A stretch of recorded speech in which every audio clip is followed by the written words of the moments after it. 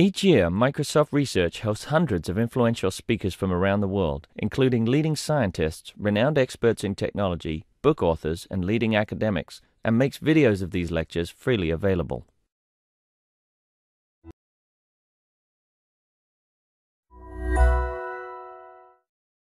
LUIS lets you build language understanding models specific to your domain.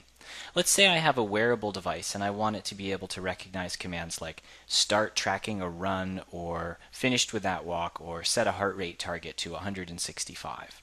Here I have a LUIS application I've already built. Let me start by showing you how this works for the application.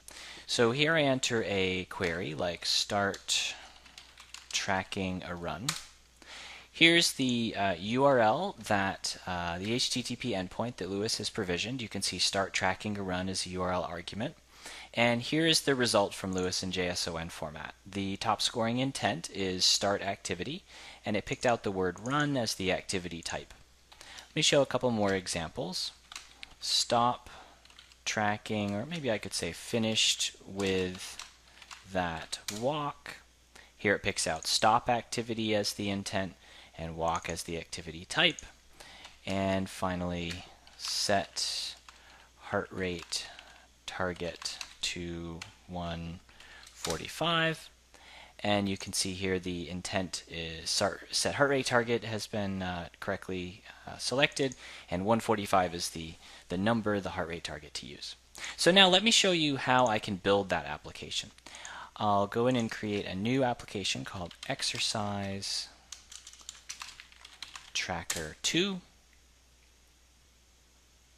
I'll go in and edit it. And I'll start by defining the intents in my domain. So I'll have start activity and stop activity to begin. Also, I'll have one other, uh, I'll have an entity, which is activity type. That'll be the type of the activity like run or walk or jog. There are messages that come up to guide you on your way. And I start by just typing in some utterances, some things that I think people will say. So maybe start tracking a run. The utterance appears here, and I label the intent of this utterance, which is start activity, and any entities that appear by highlighting a region of the string. So here the word run is the activity type. So I submit that label, can continue by adding another one. Let's say begin a walk. The intent is start activity. The entity is activity type. I can submit that. Now let's choose an example of stop activity finished with that jog. Jog is the activity type. Stop activity is the intent. Uh, let's say all done. That is an example of stop activity. There's no intent present. And there's this uh, other intent that was automatically created called none. That's a catch-all bucket for anything that my application can't do. So for example, if someone said driving directions, that's not something that my app can handle, so I'd put that in the none category. Periodically, the model is automatically built. I can also click on the train button down here anytime to uh, manually uh, rebuild it. Now there's a model present and I can investigate its performance. So I can enter something like start tracking a hike. So it's never seen that utterance before, but it has picked out hike as the activity type. It's picked out um, start activity as the intent. And I can see this uh, is uh, classified correctly, and I can click on submit to um, add that labeled utterance. And let's see, let's choose another one. Begin, mm, let's see, finished with that sprint. So here, sprint has been picked out as the activity type and stop activity. So these pre-labels also accelerate my work. Um, here I can just hit submit because um, that's been uh, classified correctly. So now let me retrain this and I can show you how I can redeploy this model, deploy this model, publish it to an HTTP endpoint. So here is the option for publishing a web service. This is now active as a web service and I can start tracking a run. I can access it. You can see here I get back the correct intent and entity. That's one of the labeled utterances, so that's good. let's try something it hasn't seen before. So begin a swim. How about that? Okay, it's picked out swim as the activity type.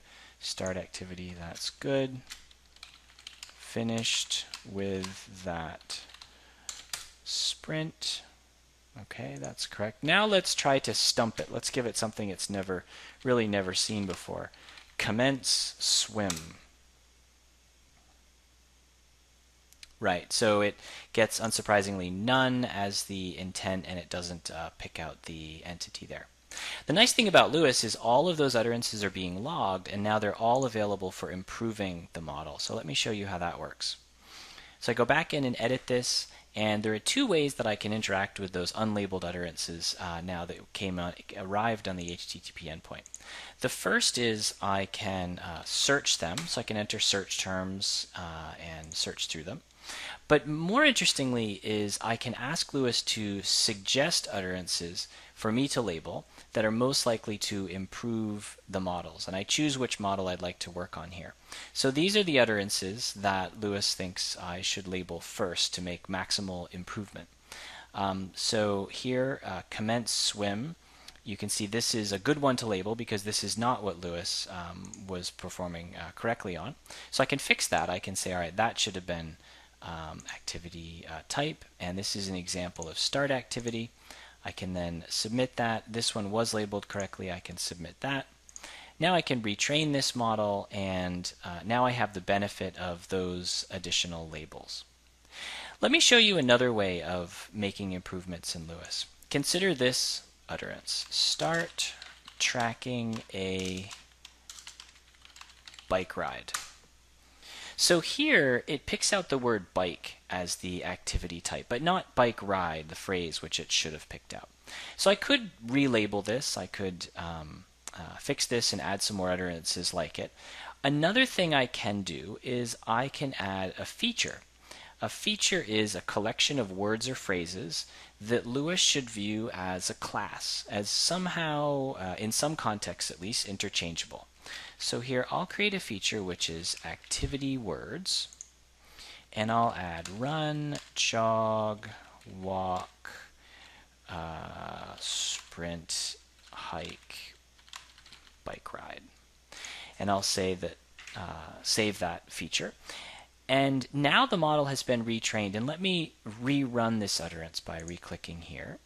And you can see now LUIS picks out the phrase bike ride as the activity type, which it should. And that's because I've told it that these words and phrases are, um, are a feature and should be viewed as interchangeable. In other domains, these might be the names of products or the names of people, the names of locations, and so on.